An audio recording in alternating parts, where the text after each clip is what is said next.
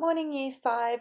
Uh, welcome to Shared Reading Lesson 2 for Week 6.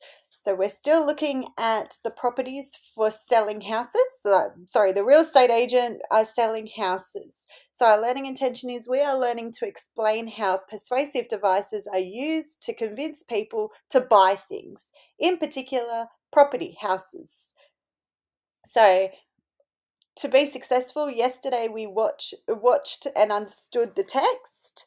Today we're going to do a mix of identifying the purpose of the text, which I think we already have, um, and evidence uh, supporting the purpose, but also identifying the language features used to convince the audience.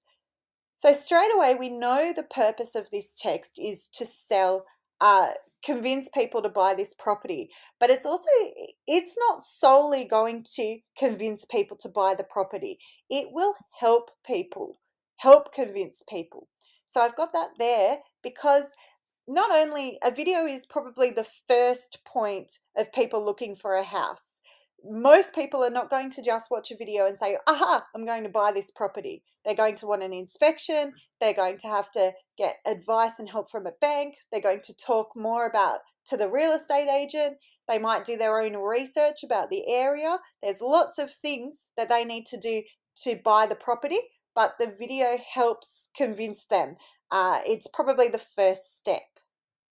And so the evidence, we know that this is the purpose because of these things. And this is the evidence that comes straight from the text. And we'll have a look when we watch the video again.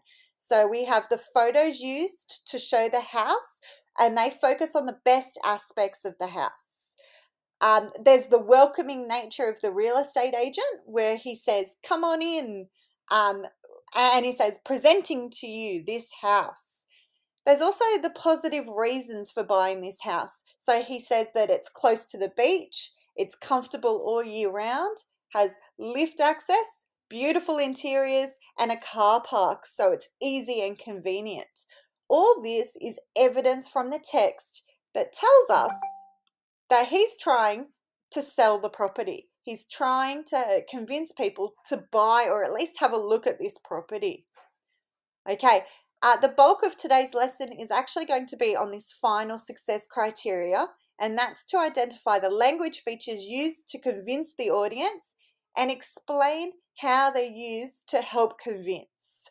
Um, so, how do they actually convince the audience? So, I've got this here. I'm going to come back to it, but let's watch the video. And what I mention in the video will just be reiterated on this slide as well.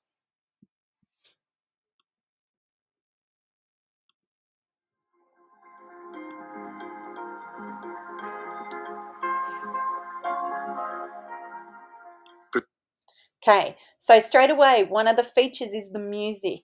It's calm, it's quite upbeat though. It's not like a dun dun dun. It's not going to give you the horror vibe, but it makes you feel relaxed, at ease, and it wants you to actually come in closer. It also reminds me of the beach and living next to the beach or near the beach, which is where this house is.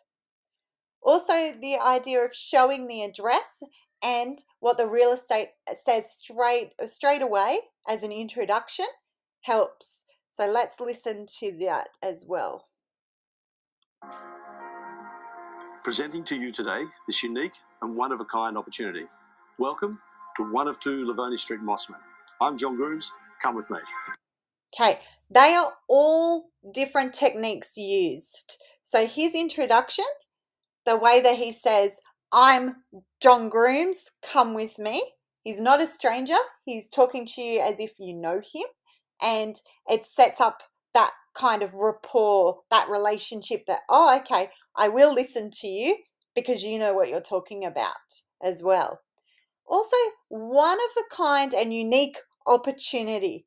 That to me says that this is probably rare, these houses coming up on the market, and there might not be many of them. So it makes me feel like, oh, I have to act now because I might miss it. Other people might like this property too. So I have to be fast about it.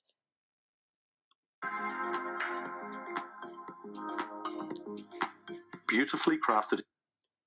Okay, the shots of the inside actually give us a feel for what it looks like. It looks clean, it's well presented, it's not cluttered. Uh, these are all techniques to sell a house.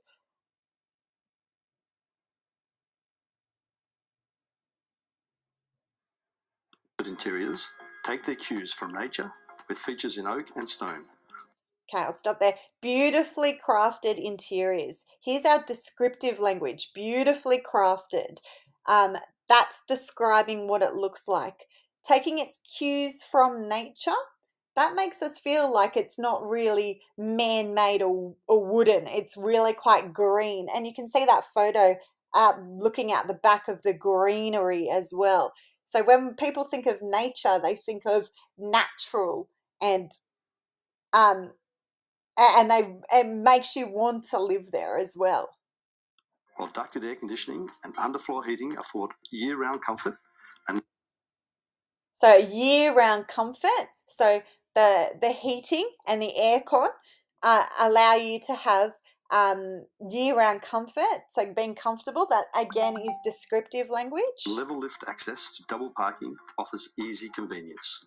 And then we've got more descriptive language. Easy convenience and everyone wants things to be easy and convenient. Uh, so they are selling features.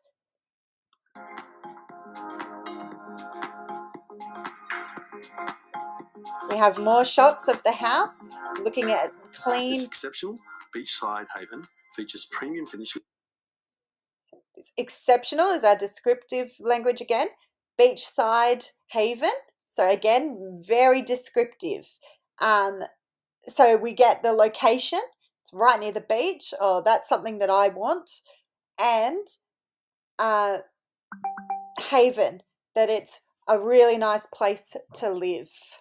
And a total of 423 square meters on title okay that's actually a fact. The 425 i think it was square meters is a fact of the and it's the land size. So that's probably a, quite a good size block for that area. And so when he says that it's big and spacious, he's using that fact to back him up to support what he says. Thank you for joining us, and we look forward to seeing you at one of our next inspections. Those positive language. We look forward to um, to seeing you, not ah, see you soon it's we look forward it's making making me feel like oh i actually do want to want to go he's including me and he wants to see see us there. So that positive language is actually helping to convince us as well. And then we've got the contact details at the end. Okay i'm going to go back to my slide and this is just going to reiterate what I said in the video as we stopped and started. So we've got the opening shot, which is the opening photo and introduction by the real estate agent. So the language used, unique and one of a kind opportunity, and come with me. That is inclusive language, which makes you feel included. Oh, he's talking to me. He's not just talking to someone else. He wants me to come in and have a look. Unique and one of a kind opportunity means that mm, these are quite rare, may not last long, as I've said there, may not last long on the market, and there may not be another one like it. So I need to act pretty quickly. Those words are making me think, oh, if I want this, I need to act quickly.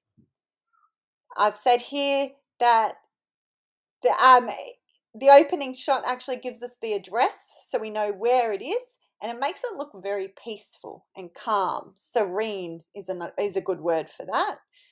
It's very inviting, wants us to keep looking and keep watching. The music is a persuasive device here. The music is upbeat and it sounds beachy. Uh, it's not too overpowering or loud, and it makes us think of a beach. Feels like we're on holiday and relaxed, and also feels what it would be like to live in this house. So it doesn't tell you that it's a busy street and there's lots of cars or you're next to a school. It won't highlight those features because some people will um, will say, Oh, no, I don't want to live there because it's too loud. So it's going to make it look calm and nice and wanting to live there. Okay, then we've got a lot of descriptive language in this text. We've got, as I've said before, these are the examples. This is my text evidence. Beautifully crafted interiors, year round comfort, convenient, exceptional beachside haven. This is what I want you to look for. I want you to hear what are the words that they're actually saying. How are they describing the property? And so it makes the house seem amazing.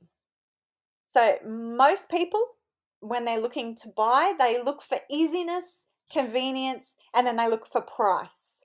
So if the real estate uh, agent is making the house seem very beautiful, easy, and convenient, easy to keep clean, uh, it's not a lot of work to keep the gardens healthy and okay. So then I'm more likely to look at that house. If it's a lot of work, people think, oh, it's too much work. I don't want that. I'll look elsewhere. So those words are purposefully chosen to make you at least want to look um, look at the house itself. And then lastly, the fact, the 423 square meters of land. So this shows how big the house really is. And it supports um, where the real estate says it's big um, and it's beautiful, that fact supports that for that area. It's quite big. Okay, thanks year five. I'll leave it here for today and we'll pick up again probably with a new ad tomorrow.